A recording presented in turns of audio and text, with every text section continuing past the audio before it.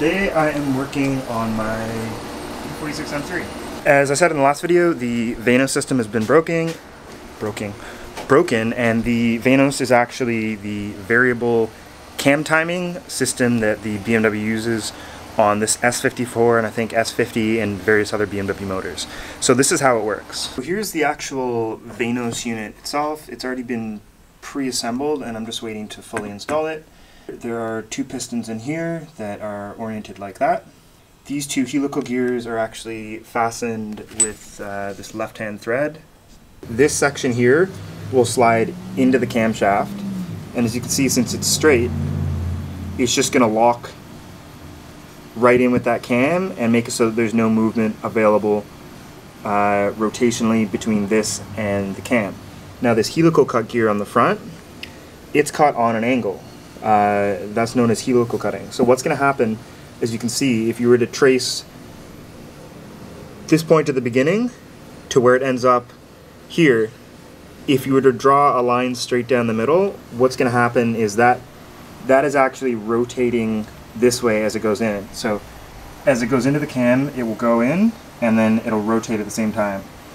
In, rotate, out, rotate the other way. So what that's going to do, that's going to mean that by actuating these pistons in and out, it's going to be able to control the rotation of the cam, which is going to lead to the camshaft either being advanced or retarded. Unlike most engines, the camshafts aren't directly connected to the timing gears. They're only connected via the Vanos splined hubs, which are fixed to the timing gears. This is why proper Vanos installation is really important, as Vanos timing is engine timing. This is just a valve body. So what happens is the high pressure oil that's generated from this pump is going to get sent to a reservoir on the side of the motor. There are four ports in this valve body and there are four magnetically actuated valves. On the exhaust side, it has the high pressure pump, and this is where you see the two teeth that often break on E46 M3s.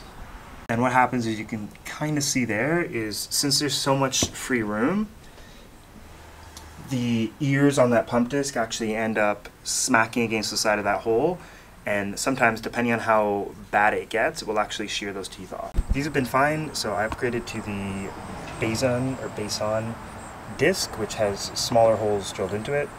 I'll insert a video of that. The mark here, these are the, the Beisan ones which have been drilled to be a smaller diameter. These are the original ones.